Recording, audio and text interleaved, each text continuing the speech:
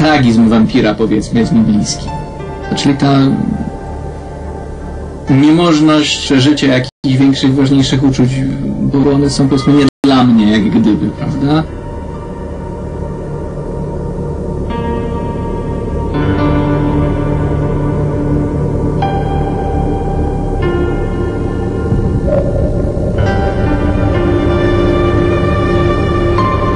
To jest słynna klepsydra, o której tyle się mówi.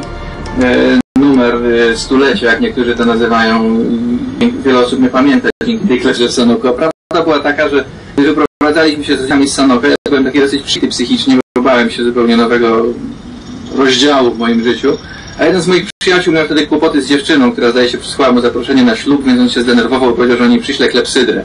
No i ten pomysł tak mi się spodobał, że poszliśmy do drukarni, wydrukowaliśmy sobie klepsydry, mieliśmy je zamiar rozlepić na mieście, tylko że przyjaciel się troszeczkę ostatniej chwili rozmyślił i wycofał.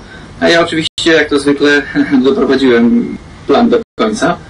Najzabawniejsze jest to, że nikt w całym mieście się nie zorientował, że to był kawał. Że ewidentnie widać, skoro tu jest napisane, że delikwent zmarł nagle, to dlaczego data jest wpisana flamastrem?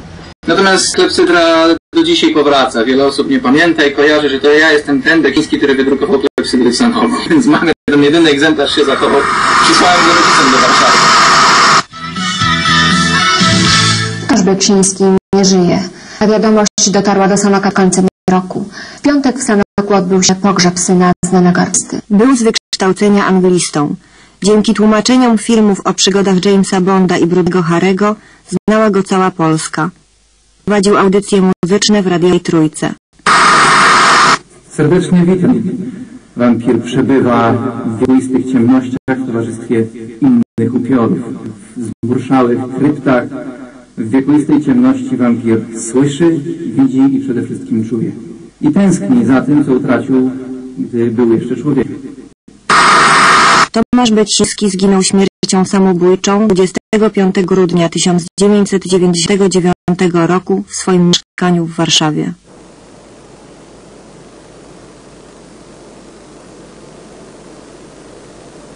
Tomasz! Tomasz! Wakey, wakey!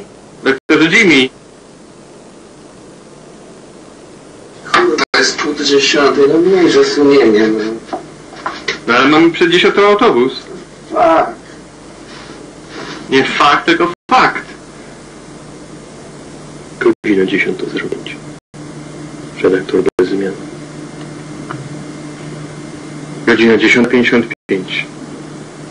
Redaktor bez zmian. Ale jednak trzeba będzie podjąć następną próbę wybrania. I go śmiesznie wkurwiła bardzo. I dzisiaj twierdzę, że jest palantem i tchórzem i że nigdy mu tego nie wybaczę. Ponieważ takie sytuacje, w jakich on był, są to sytuacje, które spotykają wszystkich ludzi na całym świecie i są to sytuacje, z którymi normalny człowiek jest w stanie sobie poradzić. Tym bardziej, że on miał naprawdę dobre życie, tak uważam. I naprawdę dużo dobrego go w życiu spotkało, a wiele złego ominęło. Mm. Nie potrafię mu tego wybaczyć. Nie potrafię się otrząsnąć, że nie słyszę już jego głosu. Tomku, życie bez ciebie nie będzie już takie samo. Był wielki.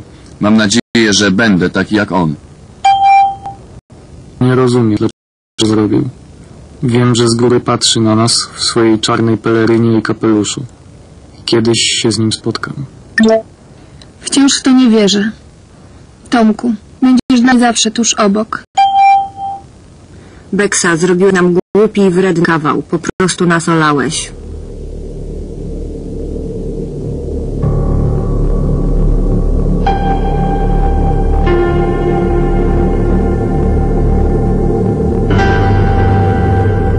Witam Państwa, Tomasz Beksiński. Dobry wieczór.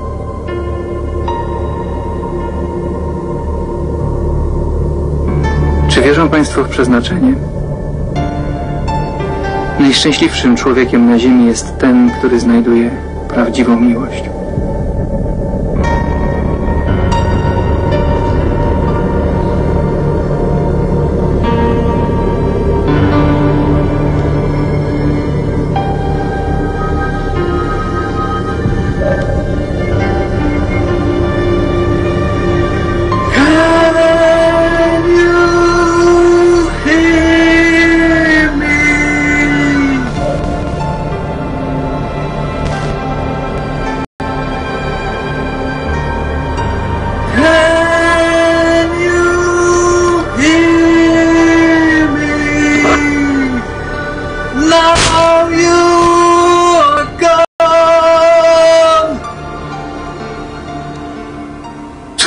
Było jednak naznaczone jakimś takim piętnem, jakąś obsesją śmierci.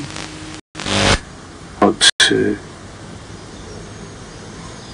czasu, kiedy w, chwili jakiejś uczuciowej depresji wypił dwie jakiegoś y, syropu na nerwy. Oczywiście później tylko płakał i żygał, nic się z tym nie stało więcej, ale nie wiem, to już można kwalifikować jako próbę zejścia z tego świata.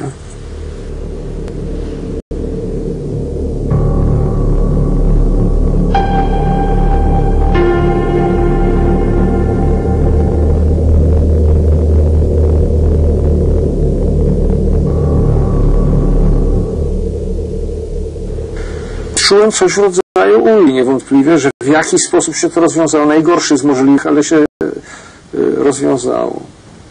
Bo, bo oczekiwanie przez kilkadziesiąt lat e, coś takiego jednak jest e, doświadczenie, które mm, no ja wiem, no jest jakieś koszmarne zupełnie. Ten węzeł w brzuch, który zawsze jest, człowiek patrzy na drugą osobę, widzi w jakim stopniu, czy się uśmiecha, czy się nie uśmiecha, czy jest ponura, czy nie jest ponura, czy, yy, czy może dzisiaj znowu będzie coś zaczyna następnego. Nieznajomość, bo nie chciał się dzielić jego kłopotów prywatnych, o kogo chodzi, o co chodzi.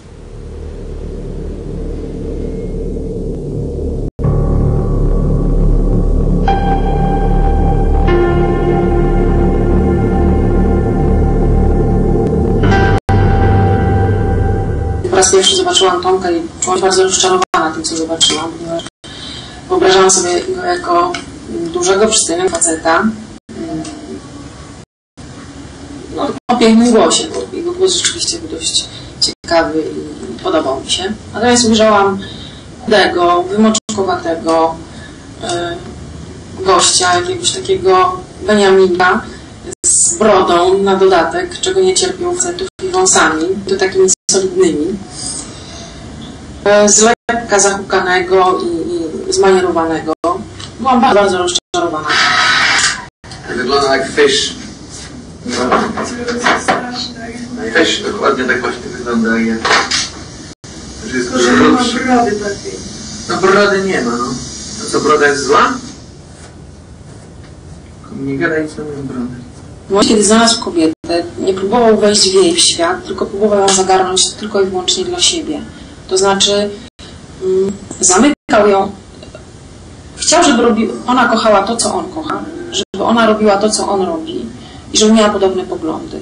Jego motywacji niejednokrotnie nie rozumiałem. Żanie kogoś dlatego, że pali papierosy, wydawało mi się to jakimś absurdem. No.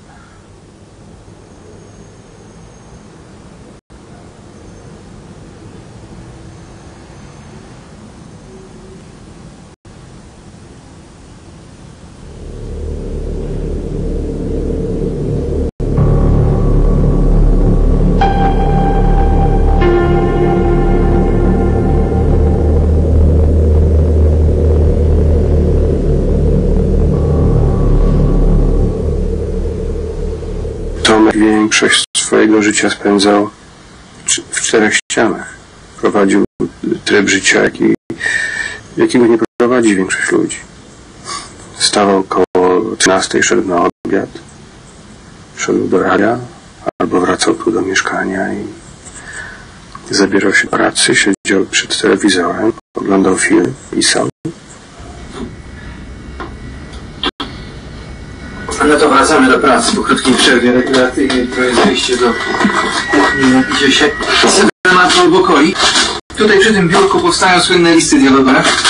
Na tej maszynie, podkreślam, na maszynie, a nie na komputerze. Nie mam komputera i nie będę miał komputera.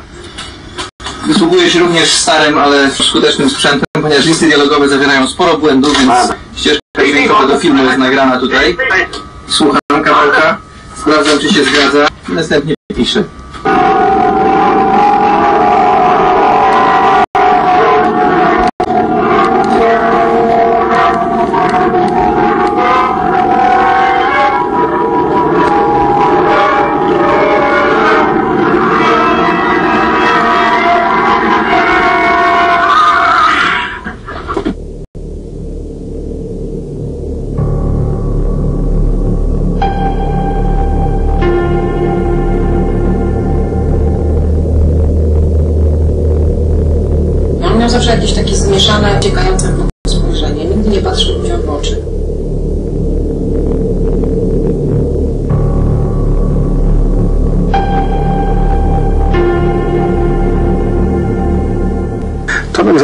Zachowywał się troszeczkę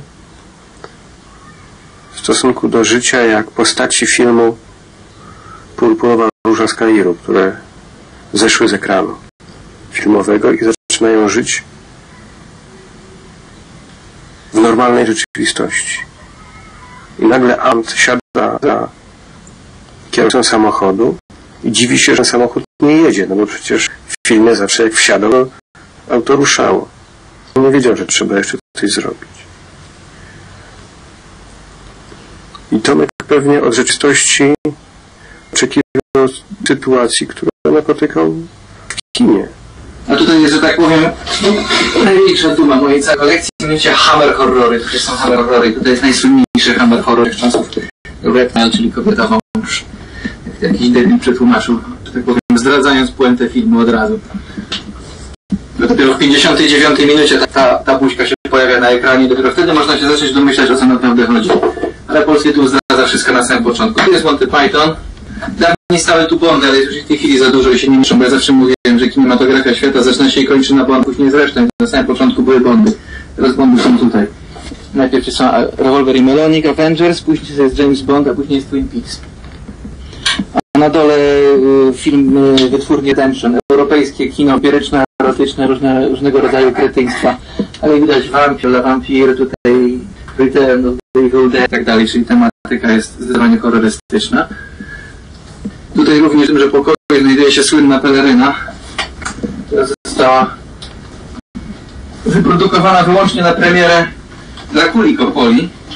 Jest to jedyny obecny w tym mieszkaniu zdecydowanie wampiryczny rekwizyt, który mógłby pasować do, do tego, co ludzie o mnie mówią. Ludzie uważają mnie za wampira, rzekomo sypiam w trumnie i tak dalej. Też trumny nigdzie tu nie ma. Więc jest tylko ta miła pelerynka, która, jak widać, spełnia swoje zadanie. Czasami można nią wykryć jakąś panienkę, kiedy się gryzie w szyję.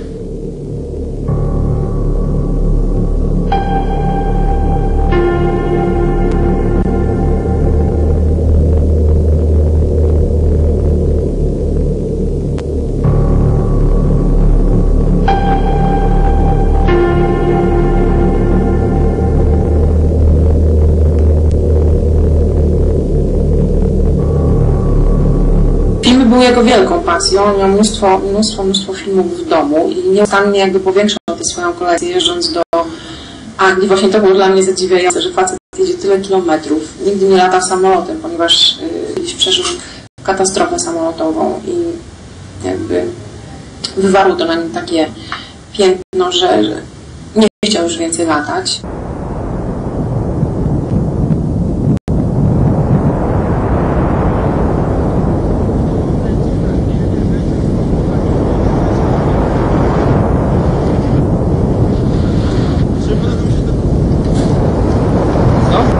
Będąc tam w tym samolocie, nie myślałem o tym, że samolot się pali, proszę Ciebie, dookoła i to, i że ja też mogę zginąć, tylko chciałem tę kobietę wyciągnąć, tylko nie dałem rady fizycznie po prostu. No, nie A mogłem jak tego ona ruszyć. była? Ty nie widział, bo był... Nie widziałem, widziałem... Czy ona na podłodze aż się A, ja słyszałem z relacji innych świadków, że ona siedziała po prawej stronie, trochę No, bardziej z tyłu i ją wyrwało razem z fotelem i ona tym fotelem poleciała do przodu i leżała na ziemi, na pewno na niej fotel, była przypięta pasem.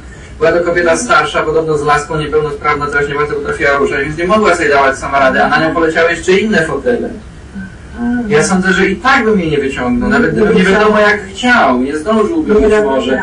No ale no to kto będzie wracał do samolotu w momencie, jak ona ta sekunda wybuchnie, wszyscy się uratowali, uciekli na zewnątrz, ja bym nawet nie wrócił.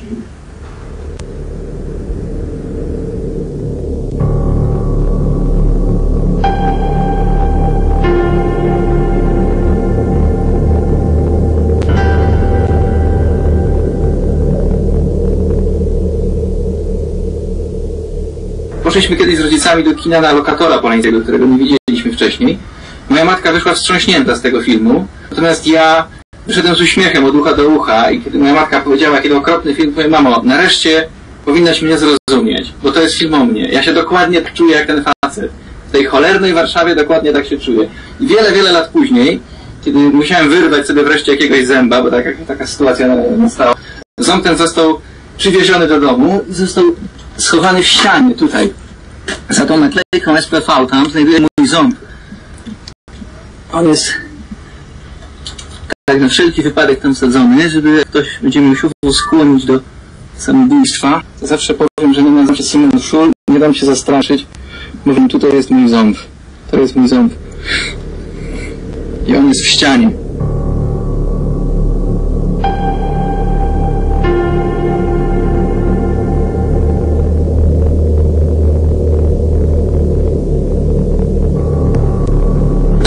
Być rzeczywiście duszą towarzystwa, potrafił być człowiekiem, e, który ściągał uwagę, e, który bawił i któremu na tym zależało, żeby takim być.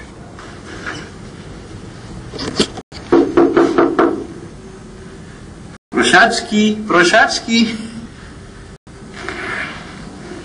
Little pigs, let me come in. Im starszy, tym bardziej się zamykał w sobie. Ja myślę, że nastąpiło jak, takie wygaszanie świateł. W sensie psychicznym oczywiście. On zamykał sobie kolejne drzwi. Kolejne sprawy, które go bawiły, które trzymały go przy życiu, które sprawiały, że on był wesołym kolegą, dobrym kompanem, przestawały mieć znaczenie.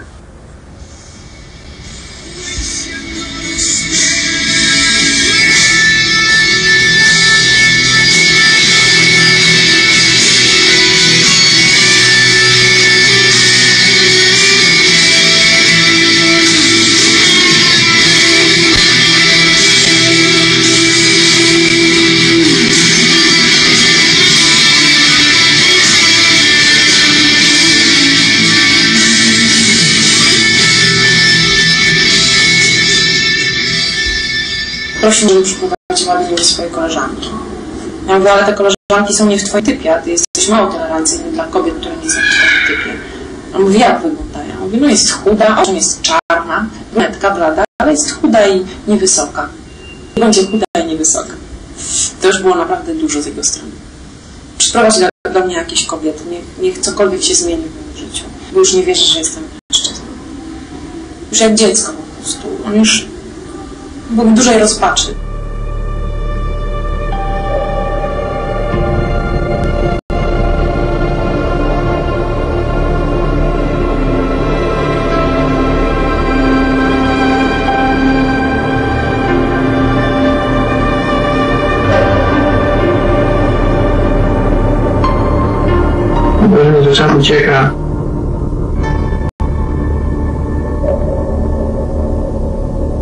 Nie mogę, nie mogę, nie mogę, nie mogę.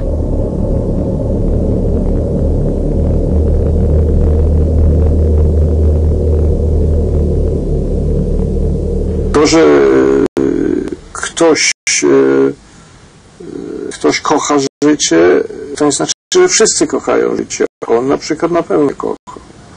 On z dużym wysiłkiem woli je kontynuował.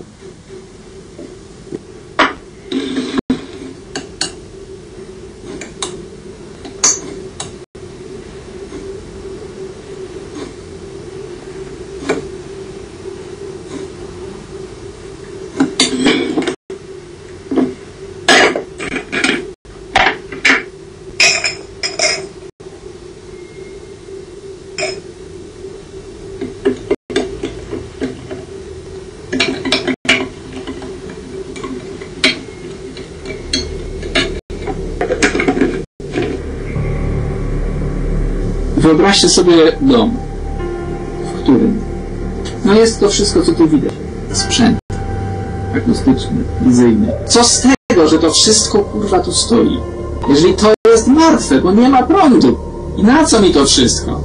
Dupę to rozbić, bo nie ma tego prądu, czyli nie ma tego, co ja chciałem mieć w życiu, czyli szczęśliwej miłości, nazwijmy to bardziej prymitywnymi słowami.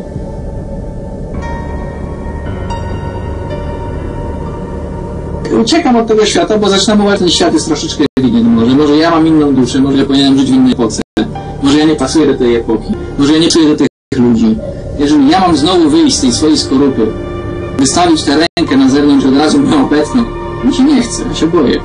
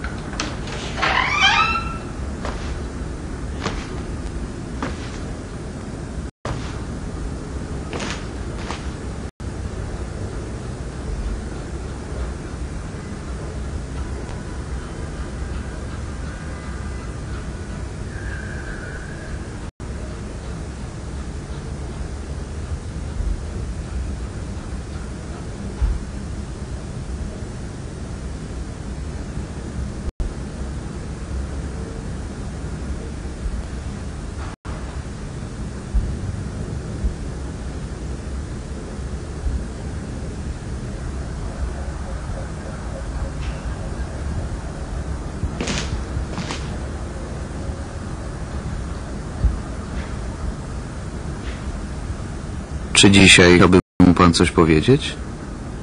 No nie do filmu w każdym razie. Przecież rozmawiam stale z nim, z żoną. Yy,